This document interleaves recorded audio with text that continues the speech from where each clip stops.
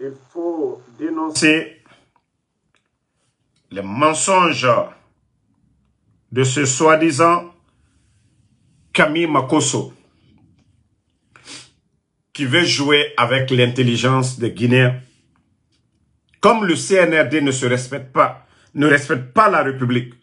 Et comme je vous l'ai dit, au jour d'aujourd'hui, tous les panafricanistes ont tourné dos au CNRD. Mamadi Doumbouya et le CNRD aujourd'hui cherchent encore embellir l'image de cette transition. Ils ont échoué sur tous les plans. Ils ont échoué sur tous les plans. Euh, il y a le soi-disant pasteur du nom de Makoso qui est actuellement à Conakry. Comme je vous l'ai dit, la vérité finit toujours à triompher. Aujourd'hui, c'est des gens comme les Makoso. Ils prennent pour faire la propagande, pour faire croire aux Africains que la réalité en Guinée, c'est autre chose. Je vais vous faire écouter et on va continuer. Écoutez. Voilà. Je vais... les 10 raisons. Voilà. Et des 10 raisons. Le président Doumbia est le meilleur président en Afrique, selon moi, le général Camille Makoso. Que selon lui, Mamadi, c'est le meilleur président. La première preuve qui Hein? démontre que nous avons actuellement au niveau de la Guinée le meilleur chef d'État africain qui Mhm. puisse exister, c'est la transformation radicale de la capitale de la Guinée, Conakry. Conakry qui était une autre capitale quand l'on nous présentait. Voici quelqu'un, pour la première fois, qui est venu en Guinée lors de la soirée TikTok organisée par Mimich, qui ne sait rien de la Guinée. Voilà. Tout dernièrement, ils ont été à Dalaba. Il ne connaît rien de la Guinée. Les grands chantiers en cours, que ce soit Kagbele, qui devait être échangeur, on nous a donné ce petit passerelle, dont ils ont donné le nom à Kagame. Kilomètre 36, 36 aussi, c'était l'échangeur qu'on devait nous donner. On nous a donné encore des passerelles. Du côté de Bambeto, qu'on devait nous donner. D'ailleurs, voici, voici l'exemple euh, que j'ai publié sur ma page. Il y a une image que j'ai publiée de la Côte d'Ivoire. Et vous voyez à peu près les mêmes. Eux, ils ont fait du sérieux en Côte d'Ivoire là-bas. Mais chez nous, on nous donne encore ce petit passerelle. Voilà. Attendez. Écoutez, hein. Quand nous présentait des images, était un peu enclavé, était un peu sous-développé, mais en moins de trois ans, que cet homme prend le pouvoir, mesdames, mesdemoiselles et messieurs, au lieu de s'accaparer des richesses de ce pays, cet homme met en place une véritable politique de transformation. Makoso, vous connaissez les maisons de Doumbouya Actuellement, combien d'immeubles aujourd'hui Mamadi Doumbouya est propriétaire? Tu peux fermer ta gueule. Tu peux aller aujourd'hui, tu vois les immeubles poussent en bordure de mer. C'est pas pour les business, c'est pas pour les hommes d'affaires. C'est pour les responsables du CNRD. Les immeubles aujourd'hui en construction. Et d'ailleurs, c'est des expatriés, pas des, des ingénieurs guinéens qui travaillent là-dessus. Tu peux fermer ta gueule, tu sais rien de la Guinée. Ferme ta gueule. Vous pensez que la propagande là, vous allez, peut-être ceux qui ne sont pas de la Guinée, qui ne connaissent pas nos réalités, vont croire à vos bêtises. Mais la Guinée là, c'est là-bas ça se passe. C'est en Guinée ça se passe. Voilà, partagez, mettez en... une véritable politique de transformation, non seulement de la capitale, mais aussi de plusieurs chantiers au niveau de l'intérieur de la Guinée. La deuxième raison qui me fait aujourd'hui dire que nous avons au niveau de la Guinée le meilleur chef d'État africain, mesdames, mesdemoiselles et messieurs, c'est que nous avons beaucoup de chefs d'État qui parlent, qui essayent de démontrer leur caractère panafricain. Mais lors des sommets des chefs d'État, lors des rencontres institutionnelles, je pouvais le dire, à l'extérieur de leur pays, le président de la République de la Guinée a démontré par la culture africaine, par les tenues africaines,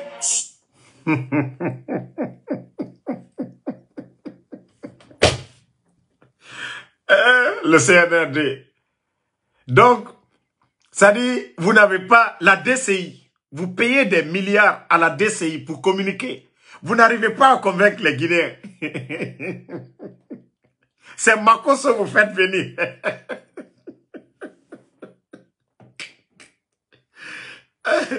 Continuez. Écoutez. Président de la Guinée, ouais. son excellence Doumbia, se mêler d'un problème qui ne le concerne pas. Silencieux, mais pousseur. La quatrième raison aujourd'hui qui me conforte dans ma position de démontrer qu'aujourd'hui, Ouais. la Guinée qui est un pays minimisé, insulté, rabaissé par certains Africains ignorants. Qu'aujourd'hui, la Guinée a le meilleur chef d'État. La Guinée a ce jour, dans les programmes et dans les projets révolutionnaires, Ah, jamais encaissé dans l'histoire du continent africain, ah, ah. est en train de construire son pays sans appui de la Banque mondiale, Regardez-moi un vrai, un vrai ignorant. Tu sais même pas que Simandou... Makoso, le projet Simandou dont tu parles, ignorant. Tu oublies que ce même projet, bloc 1, bloc 2, a été vendu au temps de feu général Lansana Conté, le deuxième président de la République de Guinée. Et n'eût été le président Alpha Condé. Actuellement, tu peux taper Bernice Taimet, pot de vin, dans l'affaire de Simandou, grâce au président Alpha Condé, grâce à ses relations. Le président Alpha Condé, grâce à lui, Simandou est revenu dans le portefeuille de l'État guinéen. Tous ces, les tunnels que tu vois aujourd'hui, Makoso, c'est pas au début de, Mam- de Mamadide. Simandou était là. Ils sont venus trouver Simandou. Tu peux fermer ta gueule à un moment donné. Tu ne sais rien de la Guinée. Tu n'es qu'un simple ignorant. Quelqu'un qui parle, qui ne maîtrise rien. Que c'est Mamadi, Velele, Simandou. Mamadi est venu trouver que Simandou, tout était là. Tout. Il n'a rien signé. D'ailleurs, ils sont en train de gâter Simandou. Parce que c'est ce que la France demande. Parce que c'est ce que la France veut. Voilà. sans appui de la Banque mondiale, sans crédit du FMI, mais avec une monnaie qui est aujourd'hui la risée de certains Africains qui veulent humilier la Guinée en présentant le franc guinéen comme étant une, une monnaie, je parle de pacotille. Grâce à ce franc guinéen, nous avons un chef d'État qui n'a plus le temps d'aller frapper aux portes des institutions financières internationales, mais qui est Makoso, on vient de les refuser 600 millions. Quand je dis vous êtes un ignorant, qu'ils n'ont pas besoin d'aller frapper. Makoso, ton, ton gars, celui dont tu allais voir, le soi-disant ministre de l'économie et des finances, Mourana, il a échoué. Parce que le projet dont tu parles là, Simandou, il n'y a pas de cohérence dedans. Le peuple n'est même pas informé. Pas de médias. Donc ferme ta gueule. 600 millions, on ne les a pas donnés. Tu peux fermer ta gueule il faut apprendre, il faut connaître. Avant de vomir tes salades, avant de te ridiculiser. Vous pensez que ça, ça va passer devant nous ici? Bande d'ignorants. Voilà, écoutez. des institutions financières internationales, mais qui est concentré exclusivement avec les ressources de son pays à apporter un changement radical sur le plan des hôpitaux, sur le plan des logements, sur le plan des routes, en train de changer de. Ils sont en train de montrer toutes les réalisations du président Alpha Condé. Hein? Non mais quand on est ignorant, c'est grave. hein. L'hôpital Donka, les écoles que vous êtes en train de montrer, l'université, l'université rénovée par le président Alpha Condé. Mais Marcos, il faut avoir honte. hein.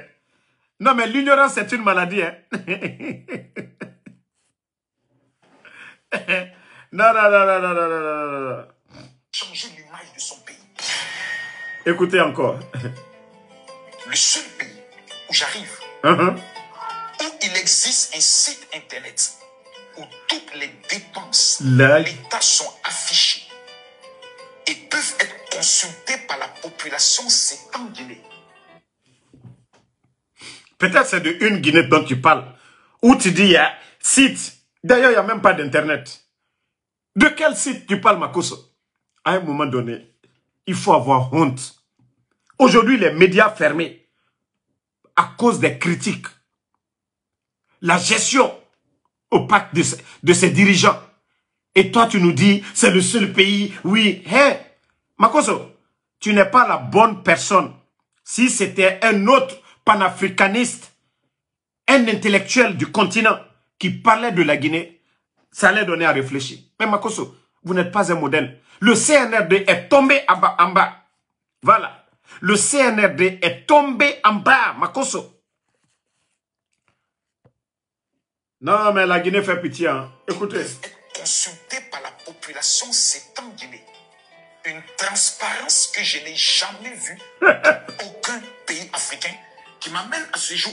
Quelqu'un qui arrive en Guinée, qui n'a même pas fait, qui fait même pas deux semaines, que je n'ai jamais vu. Eh non, mais l'ignorance, c'est une maladie. Hein. Wallah, l'ignorance, c'est une maladie. L'ignorance, tu peux connaître les tendances d'un pays, tu n'es ni expert, ni rien, tu n'es ni économiste. Un simple marmailleur, un simple gueulard sur les réseaux sociaux. A dit de façon claire et nette que la Guinée a ce jour à la palme d'or du pays le plus transparent dans sa gestion financière et dont le président est le président Doumbia de la Guinée. C'est la sixième raison qui démontre à ce jour que le président de la Guinée doit être célébré par tous les Africains il y a de cela quelques années, lorsque des multinationales prenaient les matières de la Guinée, ils ne déclaraient que le bauxite. Mais lorsque la terre était envoyée en Chine et dans plusieurs pays, on découvrait dans cette terre de l'or. On découvrait dans cette terre plusieurs autres richesses. Rien n'était déclaré à l'État guinéen. Des multinationales s'enrichissaient de manière extraordinaire. Lorsque le président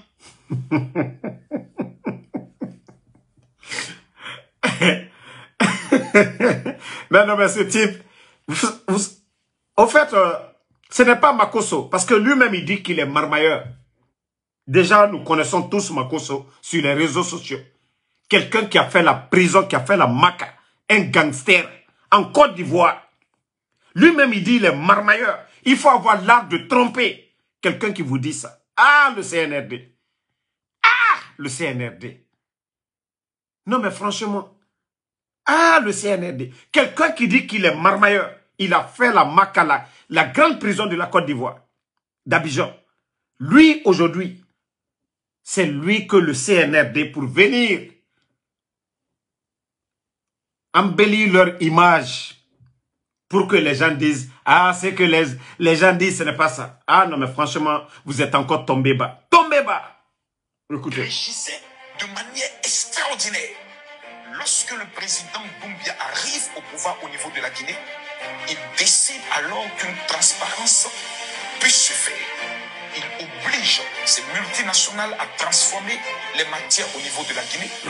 On met en place... Bah, regardez-moi un menteur comme ça. Quelle matière qu'on transforme en Guinée? D'abord, tu es tellement bête, Makoso.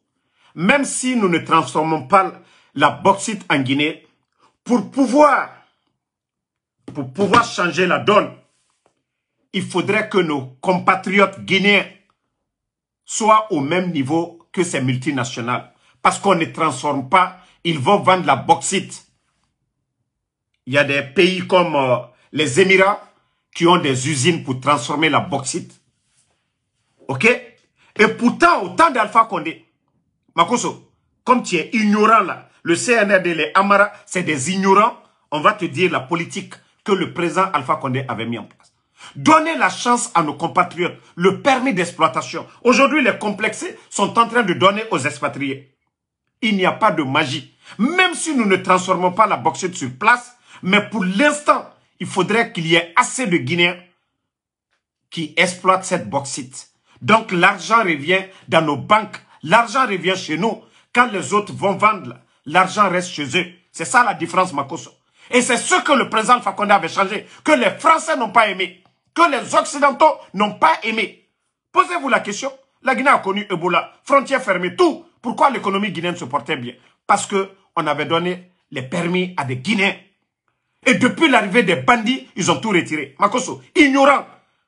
Est-ce qu'on a besoin de vous expliquer ça? Thaïlande, étaient dominés par la Chine à un moment donné. Mais pour prendre leur envol, et c'est ce qu'ils ont fait.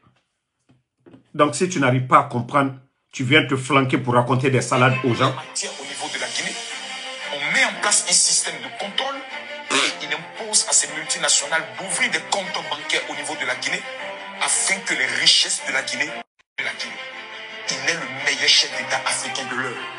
Code des, code des comptes bancaires. Makoso, avec ces comptes bancaires, l'État guinéen n'arrive plus à payer les fonctionnaires après avoir mis 20 000 travailleurs de l'État, fonctionnaires à la retraite, sans recruter les jeunes. Et toi, tu as le kilo de te flanquer que non, que le CNRD, oui, d'ouvrir des comptes en Guinée. Non, mais franchement, tu es un vrai ignorant. Hein. Un gueulard pour rien. Écoutez encore, on va continuer. Il est le meilleur chef d'État africain de l'heure parce qu'il est courageux vis-à-vis des puissances internationales qui sont représentées par les multinationales dans son pays. Ministres qui existent dans la plupart des pays africains sont des voleurs. Pour la première fois dans l'histoire, un chef d'État vient au pouvoir et construit ce qu'on appelle une cité ministérielle, obligeant. Mon frère, il y a toujours eu des cités ministérielles en Guinée, ignorants.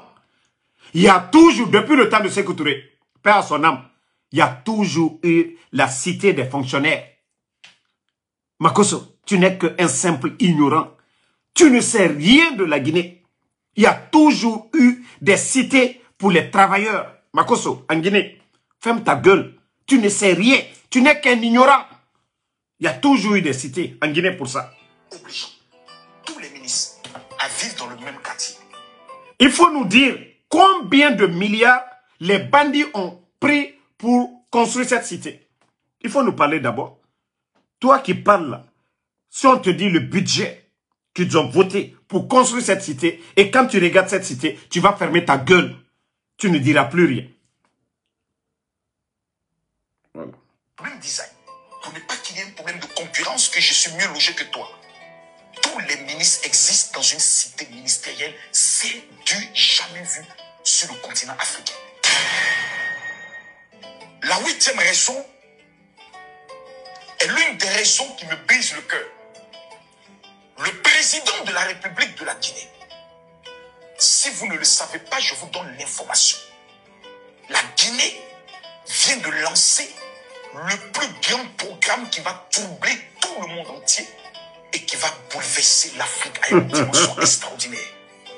Un programme dénommé le projet Simondou. Mesdames, Mesdemoiselles, Makoso, Simandou, c'est chez moi. Hein. Voilà.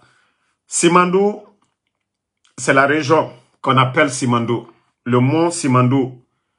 Simandou, Damaro, c'est chez moi. Je connais bien Simandou. Makoso, c'est ce qu'on vous a dit. Si on parle de Simandou aujourd'hui, c'est grâce à l'homme que Doumbouya a enlevé le 5 septembre. C'est grâce au président Fakonde. Doumbouya n'a rien fait. Il ne sait rien de Simandou. Doumbouya a étudié quoi? Doumbouya ne sait rien de Simandou. Mais comme tu es ignorant, tu ne sais rien. Révolutionner quoi? Combien de Guinéens? D'abord, Makoso. Makoso, il y avait 11 000 Guinéens qui travaillaient avant l'arrivée de Doumbouya. Ils ont amené tous ces gens-là au chômage. Simandou, ça avait commencé. 11 000, je dis bien 11 000 Guinéens qui travaillaient là-bas. Bande d'ignorants, tu ne sais rien. C'est le CNRD qui a mis tous ces gens-là au chômage. 11 000 Guinéens qui étaient dans l'affaire, dans le projet là, qui, qui travaillaient, qui percevaient des salaires. Ils sont venus tout bloquer. C'est une politique de France-Afrique qu'au programme de Mamadi. Mamadi a, fait, a étudié quoi? Le projet Simondou, c'est tous les différents gisements de fer qui permettent au niveau de la Guinée, sans toucher les ressources de l'agriculture, les ressources de la pêche, de pouvoir Goro. réaliser tous les différents chantiers de ce pays à partir d'une seule richesse. Le projet Simondou que la Guinée est en train de mettre en place pour un programme jusqu'en 2040 va refonder ce pays dans toutes ses dimensions et va positionner la Guinée comme le principal leader de l'Afrique sur le plan économique. Et cela grâce à la vision d'un seul homme, le président de la Guinée, La neuvième raison est une raison très triste. Parce qu'elle est une raison qui déchire. Suivez, hein. Vous savez, des chefs d'État aujourd'hui en Afrique n'ont plus de cœur. Ils ne sont plus humains. Des gens meurent, des gens souffrent. Ils ne s'en préoccupent plus. Ils sont dans leur monde, ils sont dans leur sphère. Ils ne s'intéressent plus au bas peuple. Une histoire a marqué la Guinée. Mhm. L'histoire d'une jeune fille, du nom de Safiatou Diallo. Une jeune Mon frère, je vous ai dit, vous êtes dans l'émotion. Parlez pour parler. Le 5 septembre, Mamadi a endeuillé combien de familles? Makoso. Makoso. Le 5 septembre, Mamadi a endeuillé combien de familles? Makoso. Tu sais, il y a combien de personnes aujourd'hui? Combien de veuves, combien d'orphelins en Guinée aujourd'hui? Qui n'ont pas vu leur mari, leur papa, leur fils, des gens Makoso. Tu connais le nombre de soldats tombés le 5 septembre? Makoso. De Safiatou dont tu parles, je n'ai rien contre Safiatou. Tu sais, il y a combien de Safiatou en Guinée? Combien de filles? Monsieur Célestin Bilivogui, qu'on vient d'arracher à sa famille, à sa fille, à sa femme, à ses parents. Makoso, tu t'assois, tu parles. C'est ça le développement de la Guinée? C'est ça la Guinée C'est ça le développement de la Guinée Cette histoire dont tu parles. Tu sais combien de personnes, ces gens-là, combien de familles, ces gens ont endeuillé? Tu viens te flanquer, tu ne sais rien. Makoso, Sadiba, chef d'état-major des forces armées. Ces enfants sont des, c'est des bambins qui ne connaissent rien d'abord. Makoso, de quoi tu parles? C'est ça la propagande du CNRD C'est ça votre propagande? Vous ne connaissez rien de la Guinée. Il y a combien de Safiatou aujourd'hui? Combien d'orphelines? Combien d'orphelins aujourd'hui? Tu parles d'amour. Mamadi a, des sentiments. Le CNRD, ces gens-là ont pitié Où sont les maris des gens? Vous vous mettez à raconter des histoires. Prenez une histoire. Oh, et voilà, il, a fait ça. Moi, je savais que tout, ce, tout ça, c'était de la campagne. Tout ça, c'était juste de la campagne. Ce n'était pas sincère. Voilà. Écoutez. Une jeune fille peu, qui a l'âge de 16 ans. Il dit une jeune fille. On a, tu n'as pas besoin de dire son ethnie. On parle de la Guinée. Ferme ta gueule. Nous, on sait pourquoi il a fait. Nous, on sait. Moi, je ne dis même pas l'ethnie. C'est toi qui dis l'ethnie. Nous, nous parlons de la Guinée. Si tu, tu parlais de la Guinée, tu allais fermer ta gueule. Tu n'allais pas dire l'ethnie. Ferme ta gueule. Vous pensez que cette propagande, que vous allez acheter les consciences? Bande de nullards que vous êtes.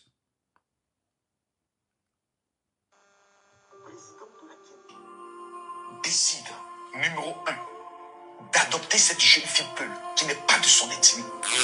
Adopter cette jeune fille Peul, qui n'est Vous entendez? C'est-à-dire d'adopter cette fille Peul qui n'est pas de son ethnie. Quand on, est le, quand on se dit président de la République, on est le président de tout le monde. C'est là que tu fermes ta gueule. Je vous ai dit, vous êtes dans la propagande. Ce n'est même pas sincère. Si vous pensez que oui, que parce que les Peuls, que les Peuls... C'est-à-dire, franchement, j'ai mal pour mon pays. J'ai mal pour la Guinée. Je vois que c'est des voyous qui nous dirigent. Je vois que c'est des... C'est-à-dire, Harli Taré, Nenana dirige fait. Je vois que vous n'avez rien dans la tête. Vous pensez que la propagande de ce gangster, de ce rejeté, de ce voleur ivoirien, que c'est lui qui va venir parler de la Guinée? Non mais franchement, c'est comme si on ferme les médias, les journalistes qui doivent faire la promotion, qui doivent dire ce que l'État fait. On ferme les médias. C'est ce voleur, c'est ce propagandiste qu'on va prendre en Côte d'Ivoire, ce Makoso. Insulter les Guinéens. Non mais franchement, j'ai mal. Hein. J'ai mal pour mon pays. Je vois que Amara c'est un voyou. Je vois que Bala c'est un voyou. Je vois que les Djiba Diakité c'est des voyous. Parce que c'est eux qui viennent, qui entretiennent ce genre de personnes. Mais franchement, c'est... Non mais franchement, moi-même je n'avais même pas écouté cette partie-là. Non mais c'est grave les gars. Cette jeune fille qui n'est pas de son ethnie, comme étant sa fille adoptive, met une maison à sa disposition qui lui offre.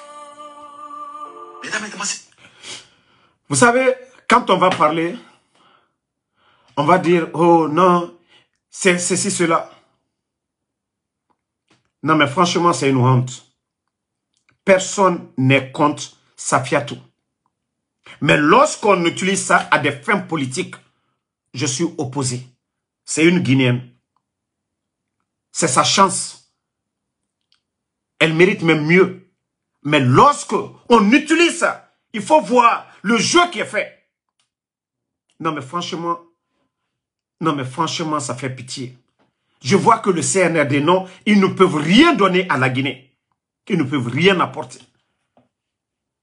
Non, franchement, ça fait pitié. Hein.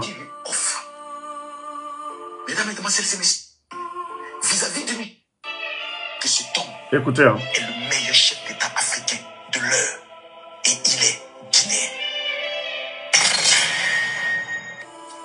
président Mamadi Doumbia est le seul président qui compose un gouvernement dont toutes les ethnies majoritaires, je pourrais le dire, de la Guinée s'y retrouvent et travaillent dans la même synergie. Un Guinéen n'a pas d'ethnie, un Guinéen porte une nationalité. C'est là.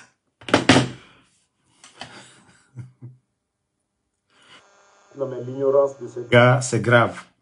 Mon gars, tous les quatre, il y a quatre personnes qui décident aujourd'hui. Quand tu parles de l'ethnie, oui, gouvernement, il y a ça, il y a ça. Je veux savoir.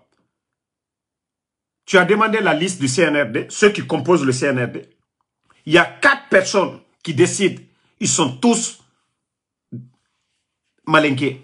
Qu'est-ce que tu as dit de ça, Makoso? Mamadi Doumbouya est malinqué. Idi Amin est malinqué. Amara est malinqué. Bala Samoura est malinqué. Voici les quatre aujourd'hui. Tout ce qui est militaire, la défense, Idi Amin, l'actuel ministre de la Défense, le cerveau du coup d'État. Makoso, tout ce qui est mine aujourd'hui, prendre les permis, arrêter les gens, les faux problèmes, c'est Bala Samoura.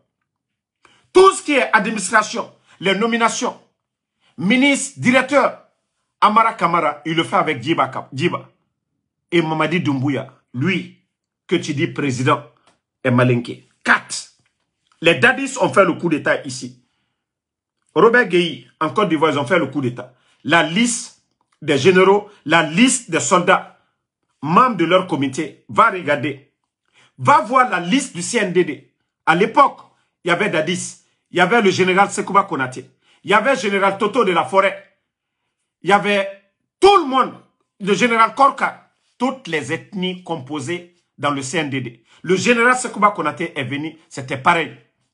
Et quand tu viens pour dire l'image du CNRD, l'image du CNRD, les quatre décideurs, tous, tous les quatre qui décident aujourd'hui, viennent d'où? Donc à un moment donné, il faut respecter les gens. Hein. Makoso, il faut fermer ta gueule. Il faut fermer ta gueule. Voilà. Si franchement, non mais le CNRD, vous êtes tombé si bas. Hein. Je pensais que vous étiez intelligent. Mais à travers cette propagande de Makoso, j'ai compris que vous n'avez absolument rien dans la tête. Vous êtes désespéré. Vous êtes désespéré. La réalité, c'est pas ce que Makoso va dire. Ce n'est pas ce que les activistes que vous allez payer. Non. La réalité aujourd'hui en Guinée, avant le coup d'État et après le coup d'État, le constat que les Guinéens font. Nous ne pouvons pas tous devenir des présidents. Mais lorsque vous avez un chef d'État, un gouvernement, vous devez faire mieux que ces gens. Avant le coup d'État, Makoso n'a pas parlé de ça. Le sac de riz était à 230 000. La Guinée a connu des moments difficiles. Nous avons connu Ebola. Nous avons connu des crises politiques. Nous avons connu Covid mais le sac de riz était à 230 000 Makoso. Nous sommes à plus de 300 000 aujourd'hui. Voilà. À l'intérieur du pays, on parle de 375 000. Makoso, voici des réalités. Makoso, le nombre de fonctionnaires à la retraite sous le CNRD, plus de 20 000. À l'heure que je vous parle, même 1000 personnes, ils n'ont pas pu prendre. À part nommer leurs copines, leurs frères, leurs cousins, les frères de leurs copines, à part nommer ces gens. Qui ils ont pris? Makoso il y a des écoles publiques aujourd'hui qui n'ont pas d'enseignants. Parce qu'ils ont mis plus de 20 000 personnes à la retraite. Et parmi ces retraités, il y a des enseignants. Makoso, des gens à la retraite sans mesure d'accompagnement. Et tu parles que la Guinée, ça va? Mais ça va pas chez toi. Makoso, l'un des grands activistes, ceux qui ont combattu le président Fakonde, ceux même qui ont soutenu ce régime. Makoso, où est Fonike Mange aujourd'hui? Porté disparu.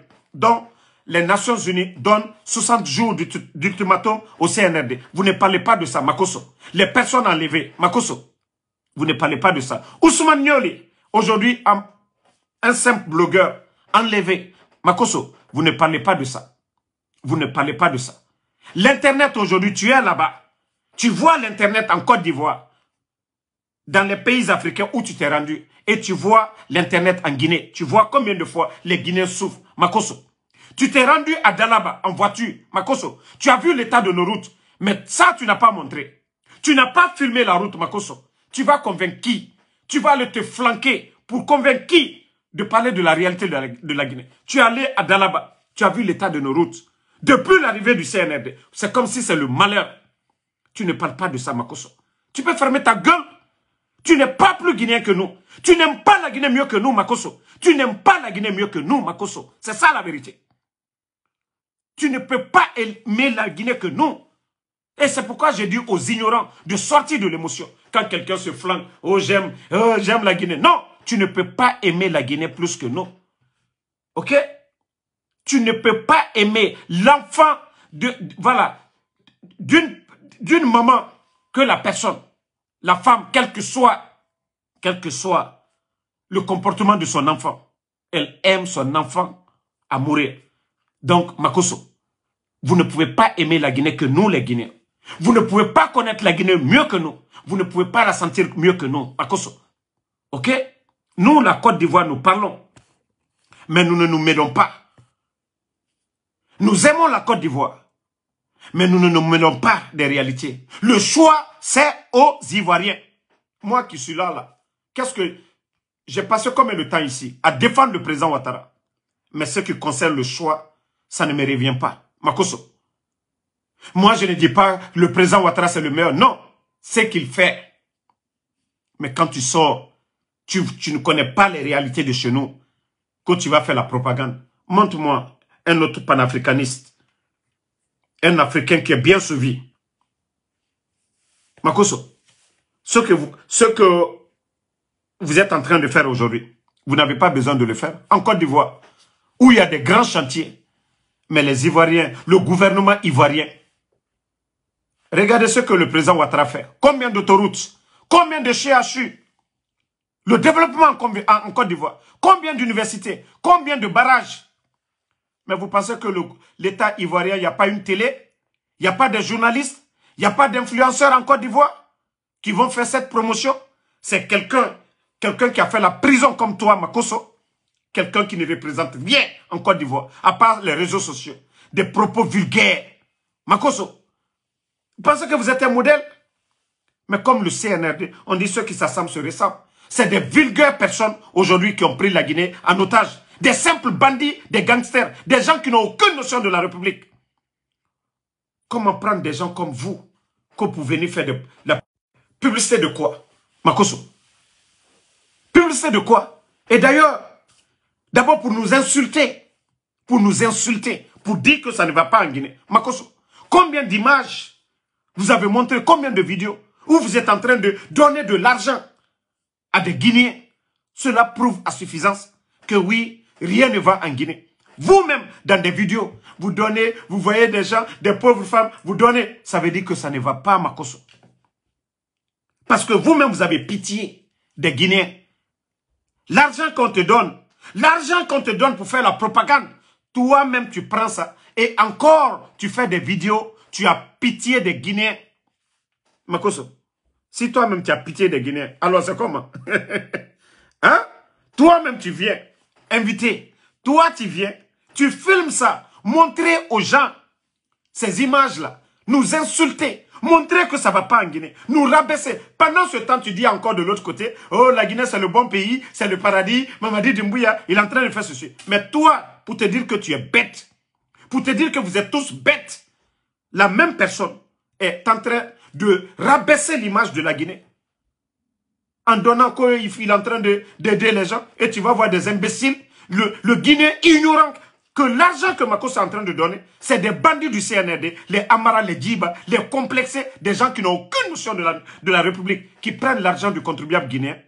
Eux-mêmes, ils pouvaient prendre cet argent pour donner à ces miskines, sans faire de publicité.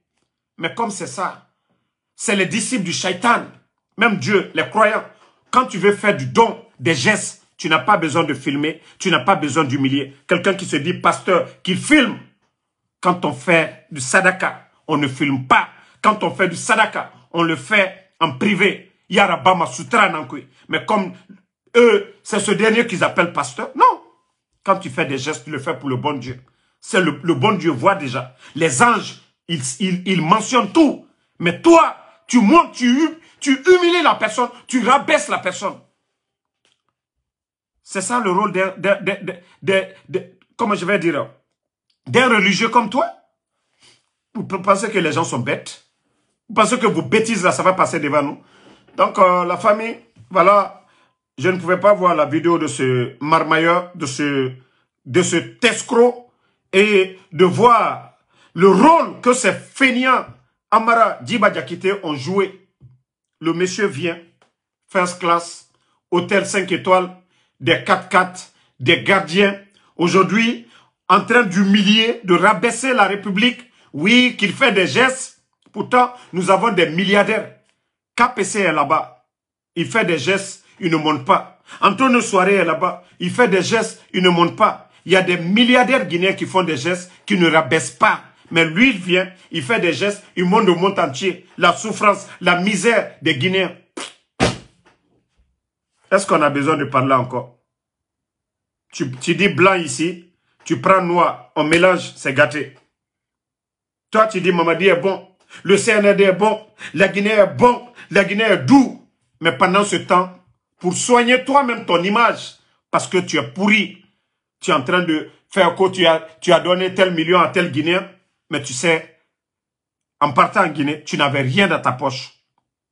Une fois reçu par les bandits, c'est des billets qu'on te donne. Et toi, tu fais la propagande. Makoso, moi, en Sodamaro, je, je, ne suis pas là pour les pour la pour l'Afrique, je suis là pour la Guinée. OK? Vous ne pouvez pas tromper quelqu'un. La réalité est loin de ce que vous vous dites. Voilà. La réalité du pays aujourd'hui, c'est loin de ce que vous vous dites. Donc, euh, merci à tout le monde. Merci et bonne soirée. Et on est ensemble.